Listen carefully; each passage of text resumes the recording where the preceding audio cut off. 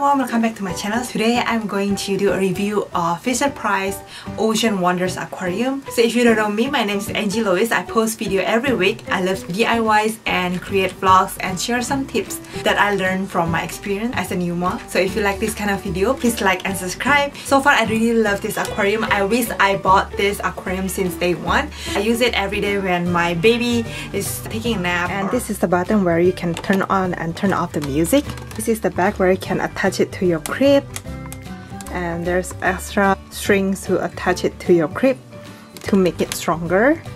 It has a volume setting so this is where you can choose your song. And there are three settings uh, music only music and light and music light and swimming fish. Music only it will look like this. And then if you press music and light it would be like this. So there's light and there's music and then if you choose the latest one it will look like this. And there's a bubble going on and the fish look swimming and there's a little crab. So in total there are like five songs and three white noise that you can choose from. So some tips for you usually if I'm trying to soothe my baby to sleep uh, I don't turn on the light so I just put on music only. If it's playtime and I just want him to play a bit while I'm doing some house chores I put the light on and he really love it. It's like watching TV or something. It also comes with a little remote. You can hang this on your door so if you don't want to disturb your baby and you want to watch him from outside you can use this. And if you press it and then it will turn on. If you press again it will turn off. For the aquarium itself it uses 4C batteries and it's really cheap. You can find it at dollar store. So I usually play this song um, 10 to 15 minutes before his bedtime and usually when he hears this music he will fall asleep right away music will stop itself after several minutes so this is the first music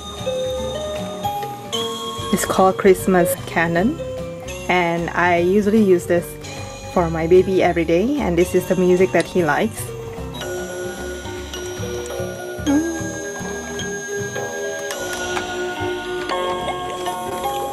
This is the third music.